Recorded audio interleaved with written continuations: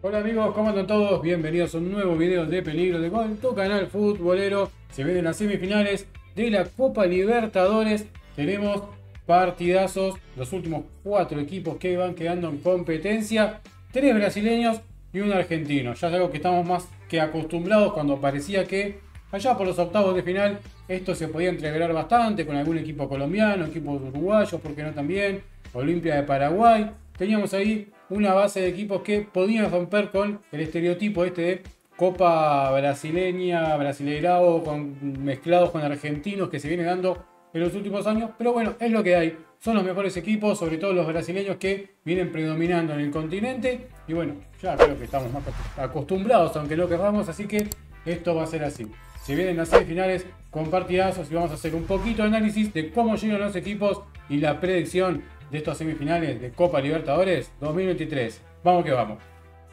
Y empecemos con Palmeiras, con el Mengao, que para mí es el favorito de los cuatro que quedan. Esto, bueno, después se decide en la cancha, ¿no? Cómo se va dando, pero creo que es el que mejor viene en cuanto a números. Vamos a repasar un poquito cómo llega Palmeiras a estas semifinales frente a Boca. Palmeiras, que ganó su grupo, que fue el grupo C, con 15 puntos. Sus rivales fueron Bolívar, el mismísimo Barcelona de Guayaquil y además Cerro Porteño. En su grupo Palmeiras perdió solamente un partido, fue en Bolivia, en La Paz, frente a Bolívar, que hizo una dignísima Copa Libertadores. En octavos de final le tocó jugar contra el Mineiro, donde el de visitante le ganó 1 a 0 y luego de local empató 0 a 0 y le alcanzó para clasificar a los cuartos de final. En cuartos de final le tocó jugar contra el Deportivo Pereira, la revelación de esta Copa Libertadores. En Colombia fue goleada del Verdao 4 a 0 frente al Pereira y luego en su casa con un 0 a 0 muy tranquilo le alcanzó para clasificarse a las semifinales. ¿Por qué digo que Palmeiras es el máximo candidato para mí? Creo que los números avalan. De los 30 eh, puntos que estaban en disputa, Palmeiras logró 27, ganando 7 partidos, empatando 2 y perdiendo solamente 1. Su próximo rival va a ser nada más y nada menos que Boca Juniors. Un Boca que también viene a ganar su grupo, el grupo F, lo ganó con 13 puntos, donde tenía rivales, por ejemplo, al Monagas, al Deportivo Pereira y al equipo de Colo Colo. Boca Juniors perdió solamente un partido por fase de grupos y fue justamente frente a la revelación del torneo, el Deportivo Pereira, y fue allí en Colombia, 1 a 0. En octavos de final a Boca le tocaba enfrentarse al Nacional en Montevideo, fue empate 0 a 0 y luego con un 2 a 2 muy dinámico en la bombonera fueron a penales, donde Boca y de la mano del chiquito Romero fue mucho más y pasó a los cuartos de final. Por los cuartos de final le tocó enfrentarse a Racing, que fue empate 0 a 0, tanto de local como de visitante y otra vez por penales, Boca pasaba de fase y se metía en las semifinales de esta Copa Libertadores. Si hablamos de números, sin contar victorias por penales, Boca Juniors logró 17 puntos de los 30 disputados. El próximo rival en semifinales será Palmeiras. En la otra semifinal tenemos al Internacional de Brasil, que ganó su grupo con 12 puntos, donde lo disputó frente al Nacional de Montevideo, al DIM y también a Metropolitanos de Venezuela. Lo destacable de Internacional en fase de grupos es que no perdió ningún partido. Ganó 3 y empató 3 partidos. Por octavos de final le tocaba jugar ante River, un River que venía bien y levantando cabeza. Fue derrota en el Monumental 2 a 1, luego en su casa se hizo fuerte, y le ganó 2 a 1 y por tanda de penales el equipo brasileño avanzó a la siguiente fase de esta Copa Libertadores. En los cuartos de final le tocó jugar frente a otra revelación de este torneo, el Bolívar, y todos pensamos que en la altura de La Paz se le podía complicar a Internacional, pero esto no fue así. Ganó 1 a 0 de visita en La Paz y luego en su casa con un doblete de Ener Valencia ganó 2 a 0 para ser semifinalista de esta Copa Libertadores. Si hablamos de números, Internacional logró ganar 21 puntos de los 30 disputados hasta el momento de esta Copa Libertadores, donde su rival de semifinales justamente será el Fluminense. Fluminense que ganó su grupo con nada más que 10 puntos, un grupo bastante parejo, donde compartió con el The Strongest, con River y además con el Sporting Cristal. Lo más destacado para el Fluminense en la fase de grupos fue la goleada frente a River por 5 a 1. En octavos de final el Fluminense empataba de visitante frente a Argentinos Juniors en la paternal y luego en Río de Janeiro ganaba 2 a 0 para pasar a los cuartos de final.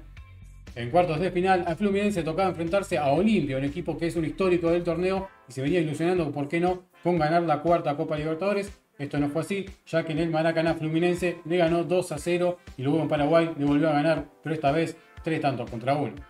Si hablamos de números, Fluminense ganó 20 puntos de los 30 que disputó hasta el momento. Es semifinalista y su rival va a ser el Internacional de Brasil.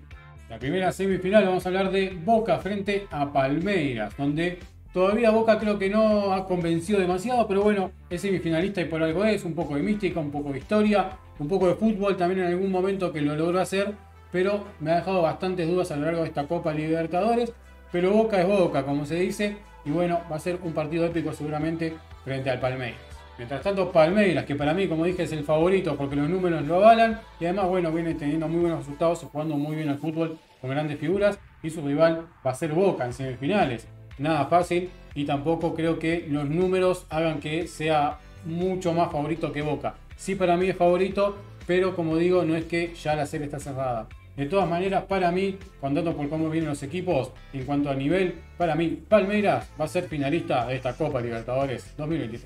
En la otra semifinal tenemos a Internacional que va a enfrentar al Fluminense en duelo de brasileños. Un internacional que en la fase de grupos a mí no me convenció. Fue un grupo bastante parejo, pero no lo vi sobresalirse y no lo vi tampoco con muy buen juego. Para luego en octavos de final, con algunos recambios también, la llegada de Rochet, la llegada de Valencia también que empieza a influir, empieza a levantar su juego y ahí es que empieza a ver un poquito más el internacional que venimos viendo, ¿no? De menos a más y es por eso que eh, se ha convertido en semifinalista de esta Copa Libertadores y creo que en cierta forma lo tiene merecido. Luminense, que en la fase de grupos pintaba para ser uno de los máximos protagonistas, y bien lo ha sido, porque es semifinalista, pintaba para favorito y por qué no para ser el posible campeón de esta Copa Libertadores, aún tiene chances claramente, como digo, está entre los cuatro mejores, pero el Fluminense fue para mí entender de más a menos, volvió a salir en fase de grupos y después como que se empezó a perder un poquito todo eso y le empezó a costar un poquito más a mi entender. Para mí Inter, como digo, fue al revés, de menos a más y hoy por hoy creo que va a estar una serie bastante pareja. De todas maneras, me lo voy a jugar y para mí, Internacional va a ser finalista de esta Copa Libertadores 2023. De esta manera, amigos, llegamos a ese pequeño análisis y cómo vienen los equipos a estas semifinales y esa predicción que hicimos también, donde los invito a ustedes a dejar en los comentarios su predicción, su opinión, en qué estamos de acuerdo y en qué no. Obviamente va a estar leyendo y va a estar comentando para debatir y dialogar con ustedes ahí en los comentarios como debe ser. Y espero que les haya gustado este video. Si fue así, no olviden ayudar con ese tremendo like, que de verdad ayuda muchísimo, más de lo que ustedes eh, se creen.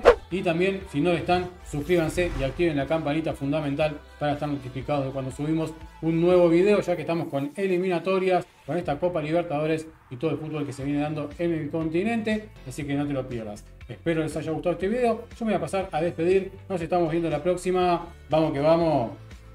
Chao, chao. Y alcanzó para hacer semifinal. Lo destacable del Internacional en los grupos es que no perdió ni un solo partido. Empató 3 y perdió 3. Donde fue empate en Montevideo 0 0 y luego un Y de esta manera Boca no ha generado demasiadas buenas. Eh,